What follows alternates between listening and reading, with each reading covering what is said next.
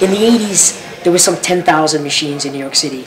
Um, in currently, I think there's about 85, and I just envisioned the sport more of a a team sport. You know, I, I kind of thought that would be a better way to lure people in and get introduce them to the game and get them excited about the game because it's just more of a social event than it is an individual event. And um, part of my motives is that I wanted to help repopularize the game. I mean, uh, whether I do that or not is yet to be seen. But male or female, if I introduce them to the game, they, they love it. They, we have fun with it. You know, if you don't play pinball, you just think of it as that, you know, that geeky game that you know, you know the guys play in the corner there.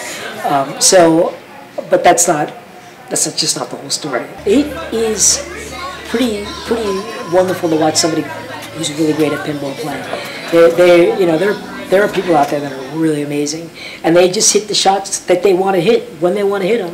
I think there's something very throwback about it, but there's something great about hunking over this giant machine that's got this actual steel ball that's being knocked around and ricocheted, and lights are going on all over the place, and and you know, and you're pushing it to try to make it to do do the things you want it to do. And the league forces you to go and experience these other machines because you have to go on the road and, and, and compete on these machines. And sometimes they're in areas that you don't normally hang out, but it, so what? It's Monday night, you gotta go play pinball.